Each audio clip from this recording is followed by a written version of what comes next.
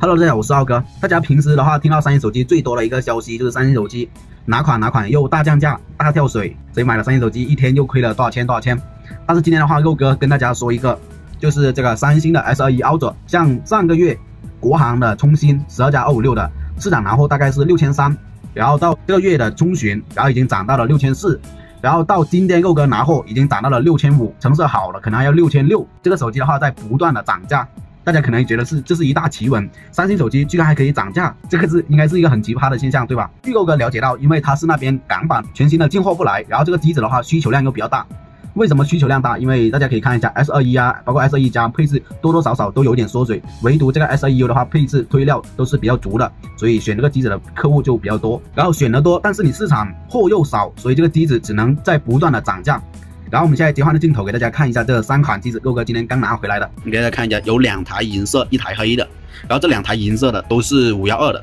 现在五幺二的也在涨价，五幺二的现在拿货都要六七千三，七千三百五这样，有些的话成色更好或者保修时间更长的话，已经涨到了七千四。你看这个成色，成色的话还是非常不错的。像洛哥平时拿这个机的话，都是拿这种中心成色，有些时候的话实在挑不到好的。像这个的话，你看一下这个成色，藤底的话还可以，但是这个手机的话，我们看一下，它就是这个下面这里有一点点小划痕，但是没办法，因为这个机子现在整个市场货太缺了，你不要的话，人家马就马上要了。我们看一下，像那些有磕碰有划痕的，人家都马上拿回去了。好了，这些的话就本期视频的所有内容了。有喜欢三星手机的，给我哥点个关注，咱们下期视频再见，拜拜。